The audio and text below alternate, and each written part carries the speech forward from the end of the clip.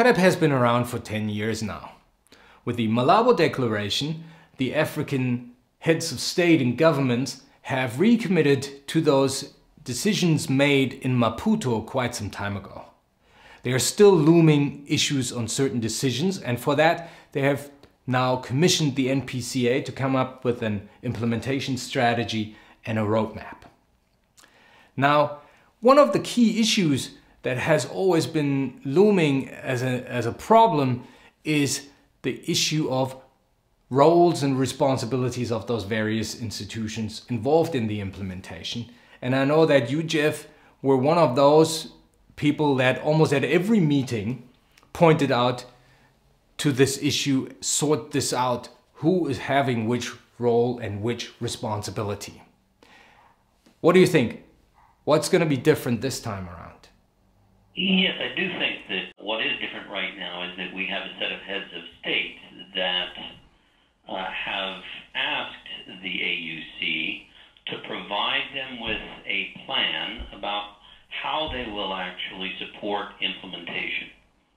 And that is requiring the setting up of actually a plan you know, that is endorsed by the organization of the AUC to be able to, um, you know, to be able to move forward. That's actually a really important step.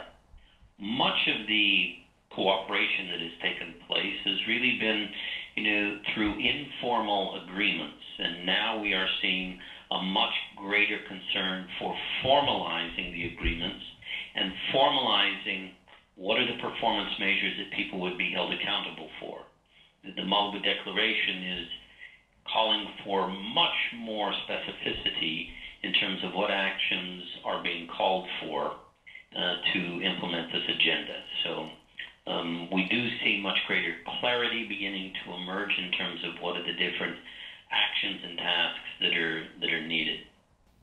Maybe you can give us a little example from these partnership platform meetings before. There were a number of institutions where people agreed to do certain things, but it was never really clear whether their sending organizations were really committed and whether those things would actually be done later on. Yes, I think that moving forward is going to be extremely important for the different organizations to be clear on what the commitment of the organization is. And that it, and once that is actually clear, and you know it is demonstrating alignment with the the um, the declaration objectives and targets. You know, then in fact some formal agreements need to be established with you know the development partners, right, and others with the with the organization to you know put forward the concrete details of what they will do and how they will be able to do it. Right now, the, the modalities that are currently being used have not got the kind of specificity required you know, for holding either each other accountable or individually the different organizations accountable. When you look at the declaration, what are the most critical points to move on with? Well, I think that what is becoming clear, you know, right now, and I think that what the roadmap that has been, you know, developed to date is doing a good job of articulating that there are two core objectives that need to be given attention. One is an objective to actually facilitate and support technical change that will drive agricultural transformation and growth, right, in a more comprehensive way. And there is much more clarity in terms of being um, what kind of technical change is being sought, right? And that's extremely important right, for being able to clarify, you know, what are the two or three technical areas that countries will be committing to so that they can make progress on those in the near term as well as the longer term. That's a that's a very important, you know, focusing point. But the other objective is focused on identifying the system changes that will be required for making this work. For many years, there's been this discussion about where is the capacity, where do you actually need to emphasize, you know, strengthening systems. But now there is an increasing attention and focus on there are system changes that countries are being asked to take on. Right? For example, the investment plan is a system change. For example, a mutual accountability is a system change. For example, they're being called on for putting in place a uh, a plan for improving coordination across you know ministries, across partners, across different groups and of constituencies. That's a system change. For being able to put in place the policy, those are system changes. And so I believe that that the system changes will actually be important in driving you know the success you know of uh, this agenda and as well as so these two areas of both the technical change required and the system changes that are required are in my opinion critically important do you see any organization that could bring about this necessary systems change to get things actually going or is that not part of the declaration the roadmap and strategy do articulate that there are these seven system changes that they are asking be a focus, and that they are asking that there be uh, progress reported on every two years.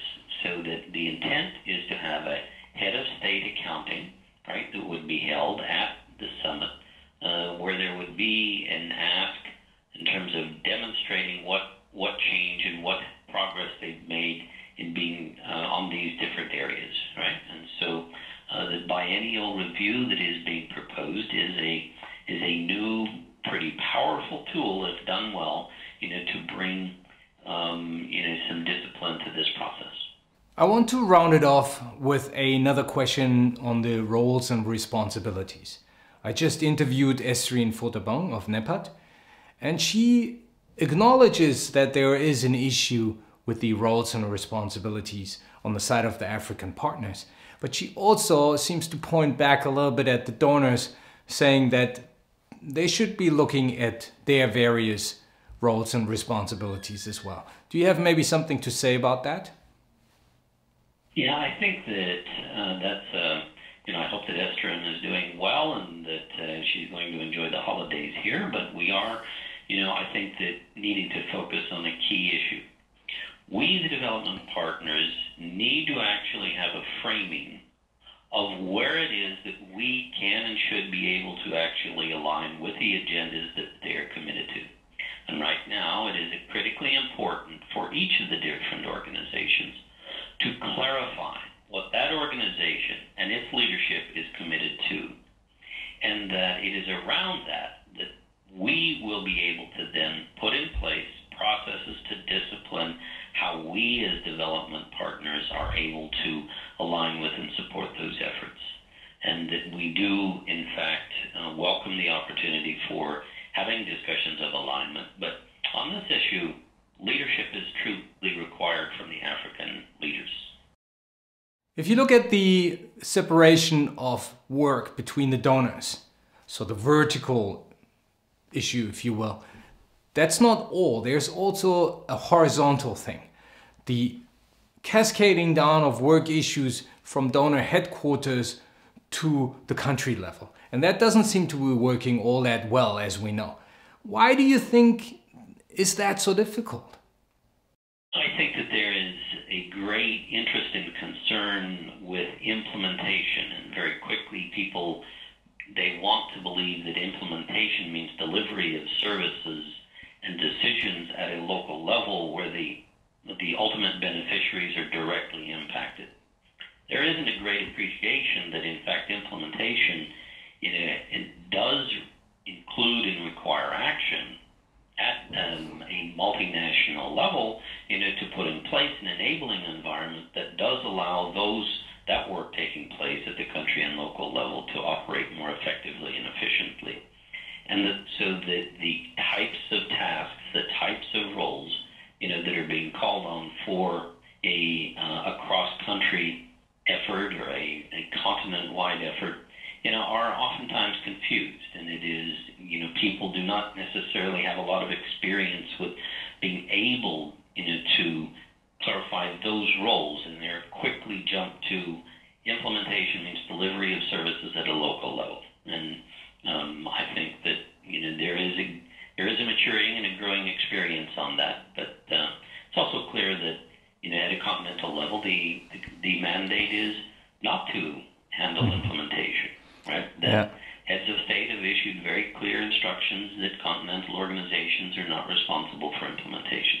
They need to support, they need to create an enabling environment, they need to help create partnerships, right, and accountability, right? They don't handle implementation.